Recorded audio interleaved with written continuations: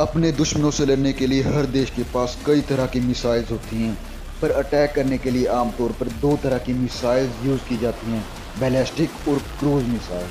ballistic missile size में काफ़ी बड़ी होती हैं और ये एक प्रोजेक्टाइल मोशन को फॉलो करती हैं और इन्हें मुख्य रूप से परमाणु हथियार ले जाने के लिए विकसित किया जाता है। इन मिसाइल की रेंज 300 से बारह हज़ार किलोमीटर तक हो सकती है और इन्हें अपने टारगेट पर पहुँचने से पहले ही डिस्ट्रॉय किया जा सकता है, जैसे पृथ्वी और अग्नि मिसाइल जबकि क्रूज मिसाइल की बात करें तो ये काफ़ी डिफरेंट होती हैं और ये सरफेस से 15 से 20 मीटर की ऊंचाई पर सरफेस के पैरेलल चलती हैं और इनका साइज़ बैलिस्टिक मिसाइल की तुलना में काफ़ी कम होता है और ये टारगेट के हिसाब से अपना पाथ चेंज कर सकती हैं। भारत और रूस द्वारा बनाई गई ब्रह्मोस मिसाइल क्रूज मिसाइल में से एक है।